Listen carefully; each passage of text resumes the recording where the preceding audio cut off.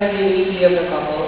It is a prayer for health and protection throughout their married life. The mantle of faith, trust, and love has been laid on Paul and Irene. May the Lord preserve them from all harm, keep their hearts chaste and pure, and guide them to lead their lives in fidelity and oneness in mind and heart.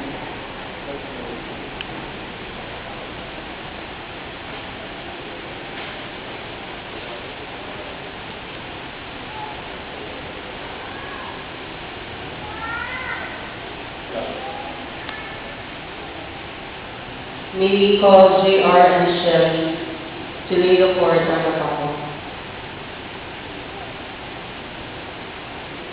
The cord is a symbol of God's love which binds your heart and soul together. Remember to always keep the bond of your love steadfast and strong, especially in not so behind.